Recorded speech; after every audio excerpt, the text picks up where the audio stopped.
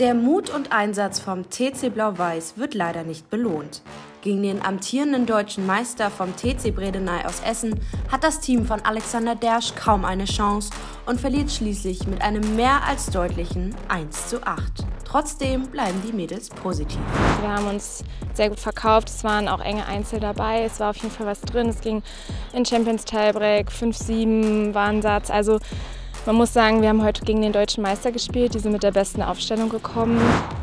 Immerhin spielen beim TC Bredeney deutsche Hochkaräter wie Laura Siegemund, Tatjana Maria und Annalena Friedsam. Und so kann keine der Berlinerinnen ihre Einzelpartie für sich entscheiden. Am nächsten dran an einem Sieg und die einzige, die in ihrem Match überhaupt einen Satz gewinnen konnte, ist Tiziana Marie Schaumburg. Trotz ihrer 7 zu 4 Führung im Match-Tiebreak gegen Indy de Vroom musste sie schließlich mit 8 zu 10 geschlagen geben.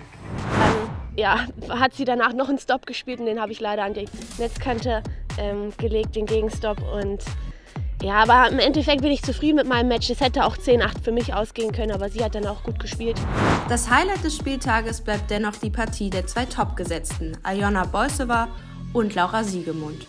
Für Siegemund, die letzte Woche noch bei den French Open am Start war, ist es das erste Bundesliga-Match der Saison.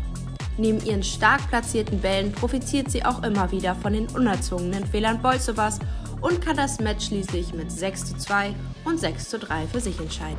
Ja, ich war sehr zufrieden. Also ich habe ähm, versucht heute ja, gleich am Anfang das Match zu dominieren und ich glaube, ich habe sehr, äh, sehr solide angefangen und ähm, bin insgesamt sehr zufrieden mit meiner Leistung. Nach dem 0 zu 6 in den Einzelnen geht es für die Berlinerinnen zwar nur noch um ein versöhnliches Ende, dennoch bleiben sie ehrgeizig.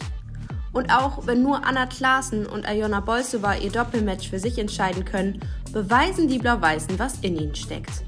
Denn der Ballwechsel des Tages stammt von Tiziana Maria Schomburg und Andrea Amaya Roska gegen Stefanie Wagner und Katharina Gerlach. Insgesamt 25 Mal wandert der Ball übers Netz, bevor Blau-Weiß den Punkt für sich entscheidet. Ein Moment, der Hoffnung macht, doch geht auch dieses Match leider im entscheidenden Tiebreak verloren. Hier noch einmal alle Ergebnisse im Überblick. 1 zu 8 der Endstand des Spieltages und zwei Punkte für den Titelverteidiger. Doch jetzt heißt es erst einmal durchatmen, denn die letzten zwei Spiele der Saison finden nach einer fünfwöchigen Pause statt. Dann geht es im Juli weiter. Da sind die letzten zwei Abschlussspiele. Einmal auswärts in Dresden und einmal heim. Dann gegen Feihing spielen wir dort. Dann sollen natürlich auch wieder zwei Punkte her und am besten der dritte Saisonsieg.